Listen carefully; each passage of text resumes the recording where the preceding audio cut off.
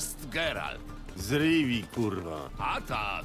A czy Geralt na trzeźwo wędkuje? Ta, ostatnio złapałem takiego kutasa. Robi wrażenie. Na trzeźwo nie dam rady słuchać tych farmazonów. Zapraszam.